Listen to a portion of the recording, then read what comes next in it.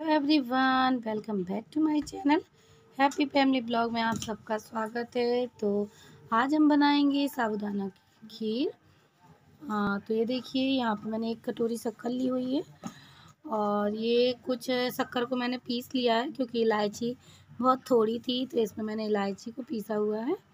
तो इसमें चार से पाँच इलायची है, और ये मैंने एक कटोरी साबुदाने लिए हुए हैं, जो गला दिए हैं। तो ये शरद पूर्णिमा स्पेशल खीर है। शरद पूर्णिमा में खीर का बहुत महत्व है। तो और आप देख सकते हैं, यहाँ पे साबुदाने गल चुके हैं। क्योंकि मैंने इन्हें एक से दो घंटे के लिए सोख करने के लिए रख दिया था। तो और ये मैंने दो लीटर के करीब दूध लिया है। फुल क्रीम दूध है तो ये मैंने भी पकने के लिए रख दिया है। शरद पूर्णिमा में खीर का बहुत महत्व है, जैसा कि मैंने बताया है।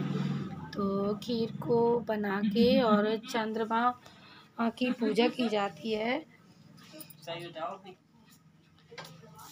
और ये देखिए, यहाँ पे हमारा दूध अच्छे से खोल चुका है। अब हम इसमें साबुदाने डाल देंगे।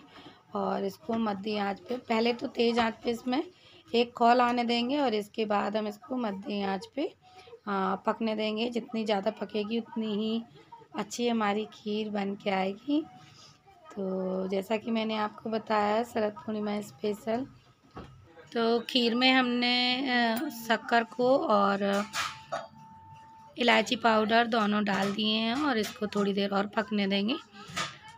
और इस खीर को बना के चंद्रमा को प्रसाद दिया जाता है रात में। और जैसा कि आप सबको मालूम है खीर को रात भर के लिए छत पे रखा जाता है क्योंकि कहते हैं कि आज के दिन अमृत वर्षा होती है तो मैं हमेशा रखती हूँ।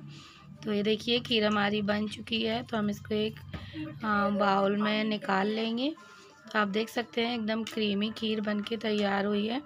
और इस खीर को दूसरे दिन खाने से जो चंद्रमा के रोशनी में रात भर रखी जाती है, अमृत वर्षा होती है, जैसा कि मैंने बताया। तो इसको खाने से कोई भी बीमारी हो, वो सारी बीमारियाँ दूर हो जाती हैं और इंसान बहुत सुख समृद्धि प्राप्त करता है। तो ये देखिए, इस तरीके से हमने खीर को टांगा हुआ था।